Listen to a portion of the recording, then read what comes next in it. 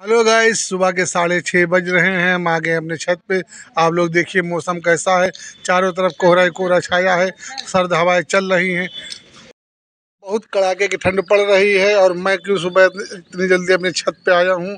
मैं आप लोगों को बताना चाहता हूँ कि आज मेरे कबूतरों को हमने नहीं, हमारे भाई ने नहीं, बल्कि बंदरों ने खोल दिया है। मैं सो रहा था गाइस तो मेरी मेरी वाइफ ने बताया कि एक परकटा कबूतर है जो नीचे आकर गिर गया है, कहीं से आ गया है।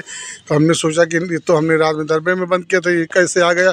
फिर जब मैं छत पर आया तो देखा कि बंदरों ने हमारे नीचे वाला दरबा खोल दिया था और हमारे कबूतर छः सात कबूतर भड़क कर बाहर निकल गए थे और बाकी दरबे में ही बैठे रहे। जब मैं छत पे आया तो देखा कि हमारे तीन कबूतर यहाँ छत पर बैठे हुए थे और चार कबूतर नहीं थे तो मैंने उन्हें आसमान में देखा। मुझे कहीं नज़र नहीं आया कि हमारे कबूतर कहाँ चले गए हैं।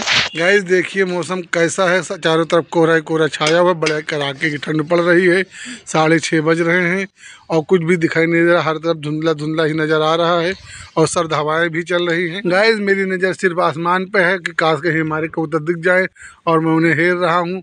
मुझे कहीं दिखाई नहीं दे रहे हैं, क्योंकि कोहरे की वजह से कुछ साफ़ नज़र नहीं आ रहा है, ज़्यादा दूर तक दिख भी नहीं रहा है तो मैं चारों तरफ़ से चक्कर लगा रहा हूँ और मैं देख रहा हूँ कि अंदर फिर से एक बार देख लूँ, हमारे शायद कबूतर हैं या नहीं हैं, कितने गायब हुए हैं, मैं उनकी काउंटिंग कर लूँ।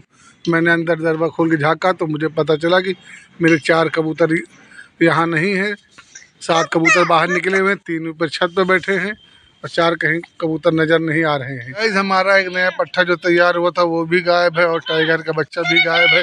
अब हम ये देख रहे हैं कि कहीं मुझे नज़र आ जाए, सामने देखा तो मुझे तीन कबूतर बैठे हुए नज़र आए हैं। हमारे तीन कबूतर ठंड में ठिठुर हुए और पंखों फुला कर बैठे हुए हैं, लेकिन मैं बुला रहा हूँ, वो आ नहीं रहे हैं। शायद वो ज़्यादा बंदरों की वजह ज़्यादा भड़के हुए हैं और अभी बंदर गए ही नहीं, चारों तरफ़ बंदर वाले फैले हुए हैं। चारों तरफ़ कोहरा ही कोहरा छाया हुआ है, यहाँ कोई नज़र नहीं आ रहा है।